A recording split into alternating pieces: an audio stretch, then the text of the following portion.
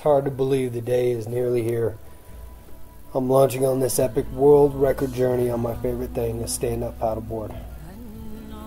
The sanctuary that brought balance back into my life in so many ways.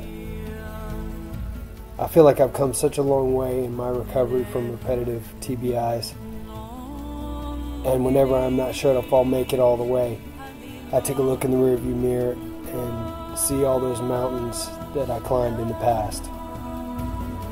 I'm about to embark on what I believe is the greatest mission of my life. It's bigger than me. And the support has been just overwhelming because there is no way I could do it myself. It'll take a team, and we have a great team. You can bet I'm counting on all of you from Texas to New York City, and especially all those supporting our military to pitch in along the way. Your company is always welcome on the water. The pace is going to be brutal. I know it's going to be tough, but no tougher than all that I just overcame. And no tougher than what every combat veteran experiences when they get out. My goal is to average 35 miles a day for 3,500 miles, and with only a few contingency days planned. And just like in life, there's going to be wind and waves and current, rip tides and storms, uh, but hopefully no close encounters with sharks or crocs in the Everglades. But I know I can make it by focusing on the prize, one paddle stroke at a time.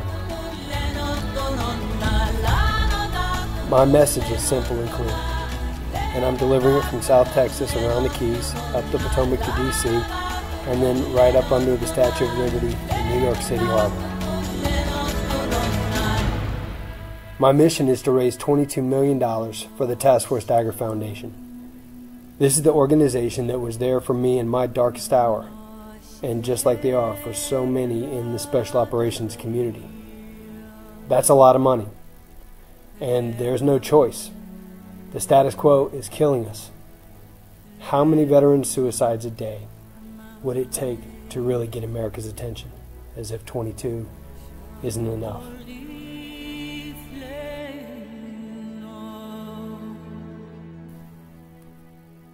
My purpose is so that 7,500 former and active special operations SOCOM members are treated for TBI and PTSD with state of the art and groundbreaking modalities like what's worked for me and that aren't covered by VA or TRICARE insurances. And that then these types of treatments may then flow out to the greater military as well. So the 250,000 cases of TBI and also PTSD in the military receive treatment. And then increased investment in state of the art protective equipment that will drastically increase soldier survivability. And lastly, increased availability of functional medicine modalities that will extend the soldier's performance, career, and life. This is my message. This is my mission. I'm paddling for all those who can't and I'm speaking out for all those who need help. And I need your support. Thank you.